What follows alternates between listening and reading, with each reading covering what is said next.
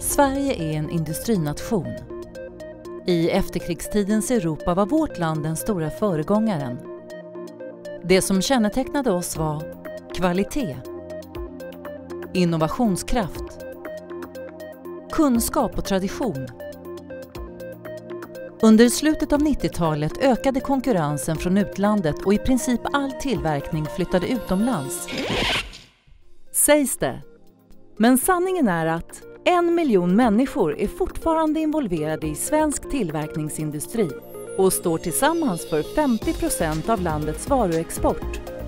Svensk tillverkning är viktig. Den skapar välfärd och arbete, inte minst åt våra ungdomar. Sverige är ett av de fem mest innovativa länderna i världen.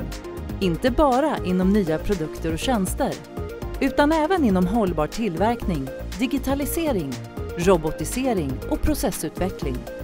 Men det räcker inte med att vara bra. I en global ekonomi måste vi vara bäst. Tyskland, USA och Indien satsar stora resurser på produktionsutveckling. Vill vi vara med finns det inga genvägar.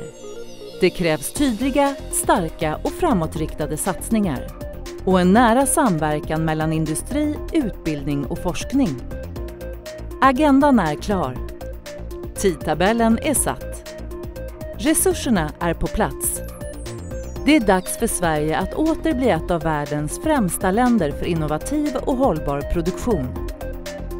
Produktion 2030 ett strategiskt innovationsprogram för hållbar produktion i Sverige